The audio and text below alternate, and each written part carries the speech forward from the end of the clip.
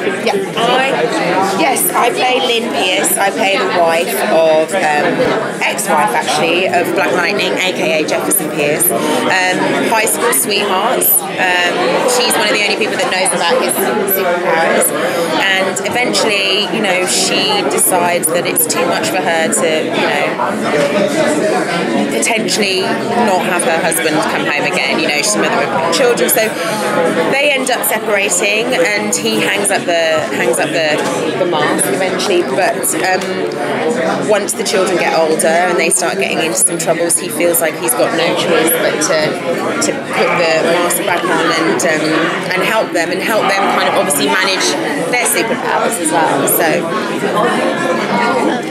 So the producers are known for creating these amazing female characters. Um, how does your character fit into that? Um, you know, I think what I love about um, Mara and Salim and what they're doing is that they are really determined to, to, to make it feel like it's rooted in a reality. And, you know, of course, the fight sequences are going to be amazing. And of course, you know, when he sets things on fire, that's going to be amazing. But I think they feel really strongly that it's about this family who really kind of are the same as a lot of families. You know, the marriage didn't quite work out, the girls are becoming teenagers, one of them is getting into trouble and doing things she shouldn't do. You know, it's like a real regular family dynamic. And I think, you know, what Mara and Salim want to do is like push that to, to the sort of, I suppose, really focus on that rather than the superhero, you know. And superhero is like a great cherry on top, obviously, but I think this this family, you know, I think that's what the audience is going to go with. And I think also just in terms of Lynn, again, she's like a regular, she's a working mum, she's a lawyer, and then she's got these two girls, and she's got an ex-husband, and she's got a new husband, and now the girl's going to get superpowers.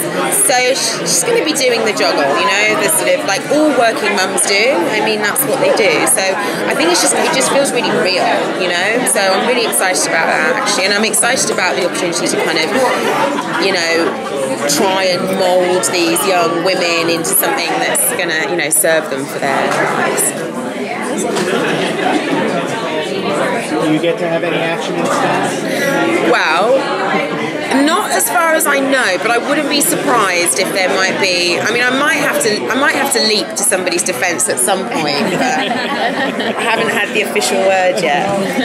How aware of Black were you know, not really at all. Obviously, as you can hear, I'm from England, so we had a diff. We sort of have growing up. We had a kind of different relationship to comics. I mean, we had Batman, Superman, but those were really those came to us via the movies, the original movies. But comic books were a lot more sort of quaint and sort of um, whimsical and not so action driven. So, the, you know, really, I'm completely new. I've sort of started digging into all the Black Lightning comics, and they're um, amazing. I mean, it's just like an, as you know, it's an infinite universe. So I feel like I could read ten comics and I still would be nowhere near kind of figuring out all the pieces. But that's really exciting, I think, to be part of something that sort of is infinite. You know, like there's so many stories to tell, which is great. We don't ever want to run out of material, ever.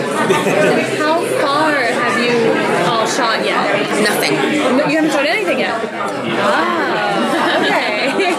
And to be part of uh, comic book diversity, with just starting to get into heroes like Black Panther Black Lightning. Amazing, amazing. I mean, it's historical and it's it's it's about time. I mean, let's face it. But I think what I'm most excited about is just for you know young African Americans, Black people to actually see something on screen that is them. You know, and I think this sense of ownership that we've seen already, even from the small amount of footage that's out there, the response has been amazing. And I think this sense that you know black people, female, male, they they have something that belongs to them, you know, and I think that's really important. It's really powerful, and it, you know, they should be represented. There's, you know, Thank you guys.